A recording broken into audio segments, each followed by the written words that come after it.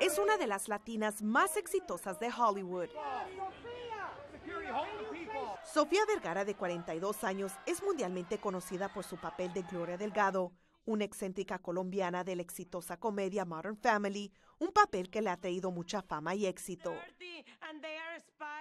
Pero ahora la actriz, quien es una de las latinas mejor pagadas en Hollywood, se encuentra en problemas legales por dos embriones después de que su ex prometido, el empresario Nick Loeb, interpusiera una demanda en su contra para impedir que los embriones congelados que ambos crearon sean destruidos. Según la demanda presentada en agosto del 2014 con los nombres John Doe y Jane Doe en California, y a la cual le presentaron nuevas pruebas el primero de abril de este año, señala que la expareja había asistido a un centro de fertilidad para crear embriones y congelarlos, los documentos señalan que la expareja había usado dos veces una madre sustituta para implantar su embrión, pero sin obtener resultados positivos, ya que estaban tratando de tener bebés. Uh, there's been rumors circulating that you have a surrogate.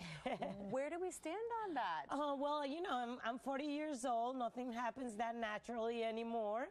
En una entrevista con la cadena ABC hace dos años, cuando aún estaban comprometidos, Vergara confirmó que sus óvulos habían sido congelados para volver a ser madre en un futuro y se veía entusiasmada de tener hijos.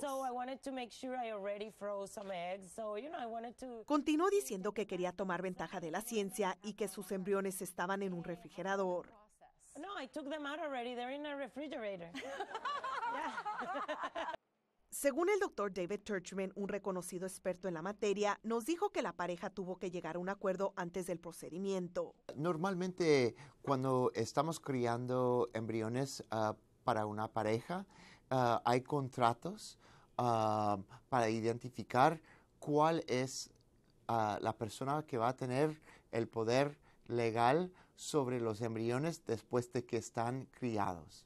Lo que se va a tener que hacer es ir a la sistema legal para identificar quién, de quiénes son los embriones que han criado.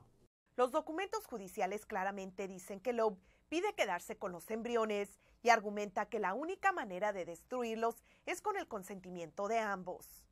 El abogado Ben en que no está relacionado con este caso, dice que esta demanda levanta aspectos sumamente importantes y que un juez tendrá que decidir el futuro de los embriones. Eh, aspectos morales, aspectos religiosos, aspectos legales, aspectos de contratos, aspectos de cuándo empieza la vida humana. ¿Empieza en la concepción o empieza en nacer?